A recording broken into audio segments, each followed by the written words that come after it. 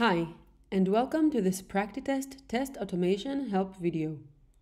In this video, we will review the option to add your CI/CD results to PractiTest using the Firecracker tool. Firecracker will let you convert XML files to actual test results in PractiTest, including all fields and parameters automatically. A few things to prepare in advance. Create an API token. We recommend using a personal API token that should be enabled by account owner and then generated in per personal settings. Create test custom fields that will match your fields in the test results you get from your CI/CD tool. For example, if you have a field called class name in your automated tests, map it with a PractiTest test custom field. This way, you will be able to see the equivalent of your automated tests in PractiTest's reports and dashboard graphs. Make sure you have Java installed on your machine. To start the process, go to Firecracker UI prod.practitest.com. At the top bar, choose the server location of your account, EU or US, and log in using your PractiTest credentials. Upload the XML file you received from your CI/CD tool.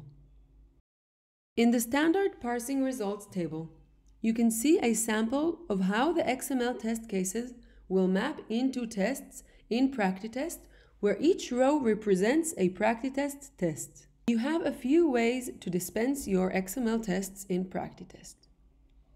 The XML test cases can be imported to PractiTest as multiple tests with a single step for each, or to one PractiTest test with multiple steps. By checking the Group Test Cases option, PractiTest will group the XML test cases that have the same class name ending into one PractiTest test, where each XML test case will become a step. If you uncheck the Group Test Cases option, each XML test case will become a test with a single step in PractiTest. The XML test cases can be imported into one PractiTest test set or as multiple test sets. By default, all test cases will be imported to one test set in PractiTest. If you wish to import the test cases into multiple test sets based on the suite name attribute, check the multi-test set. Insert your API token. Press the button next to it and choose the project you want to report the results to. Give a name to the PractiTest test set to which all your tests will be imported, unless you ticked the multi-test set option. Use the first two rows of the table to define the test and the step name in PractiTest. By default, the test name will be based on the class name field and the step name will be based on the name field of the test case.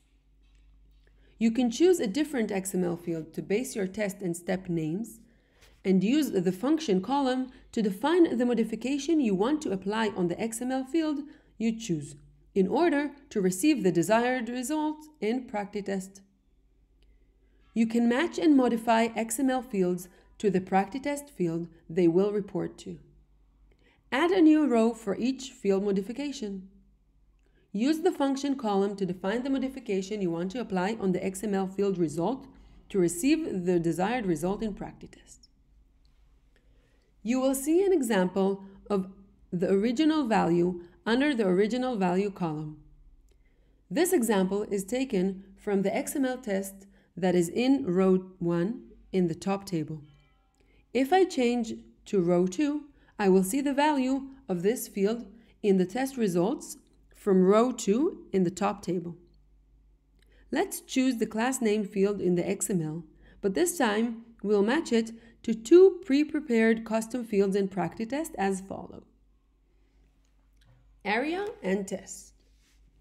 For the area field in PractiTest, we want to populate only the information after the first dot and up to the next dot. We will insert the correct function to match what we need and we can see the results that will appear in the area field in PractiTest under the result example column. In the same way, we will match the class name field to the test field in PractiTest using a suitable function that can be adjusted in the function column. We can also use the function field for static values. For example, I can decide that I want tests in this run to have a field with a project name in them. I will choose the project field I have in PractiTest, and in the function column, I will insert the name of my project. This way, I will later be able to filter these tests from other tests by their project name. By defining and organizing the PractiTest fields values received from the XML, we will later on be able to filter and present the results based on those fields in PractiTest dashboard and reports. After matching the values of the fields, click down on Configuration. In case you need to map more fields or to change the project you are sending results to, you can always upload the configuration file to the Firecracker UI mode, modify it and download an updated version. To check the configuration, create a folder that will include a folder with your XML files, the JSON file you just downloaded from the Firecracker, and the Firecracker jar file that can be downloaded from the link in the help page. Run the command found in the help page with the correct parameters for folder name, file name, and user ID. You can run this in any shell. Now check and you will see your XML results in PractiTest. Use the fields you configured in Firecracker and filter your data accordingly to create valuable dashboard items and reports that will give you better insights for your project. In order to automate the Firecracker procedure, write a script that will download new XML files into your de dedicated folder. Remove old files and run the command. This way, every time you get a new build and result files, they will automatically be uploaded into PractiTest. Check out the next Firecracker help video to learn how to automate the Firecracker procedure.